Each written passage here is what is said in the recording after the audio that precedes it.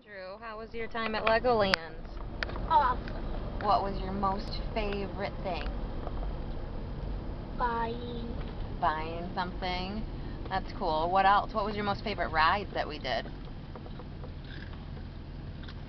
the boat thing. The boat thing where we got soaked? Are you still wet? Yeah, me too. Cool. Did you have fun then? What did you say? What did you say on the way out, Andrew?